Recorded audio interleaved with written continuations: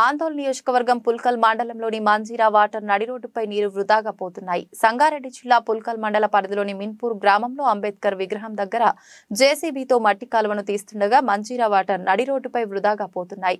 గ్రామాలలో త్రాగటానికి నీరు లేక ప్రజలు అల్లాడిపోతున్నారు. ఇటు విషయాన్ని వెంటనే అధికారులు కఠిన చర్యలు తీసుకుని మంజీరా వాటర్ వృధాగా పోకుండా మరమ్మతులు చేపట్టగలని గ్రామ ప్రజలు కోరుకుంటున్నారు. ఎవరో దిగంతని రీసెంట్ పోయిండు ఆయనతో మారిపోయింది